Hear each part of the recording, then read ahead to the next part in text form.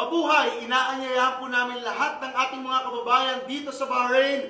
This coming January 18, Friday po yan.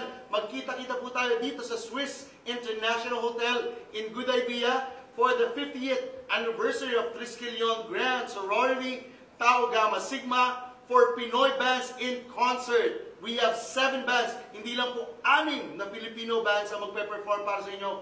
Pito po, something to look forward to, mag enjoy po tayo mga kabayan. And of course, this is a benefit concert.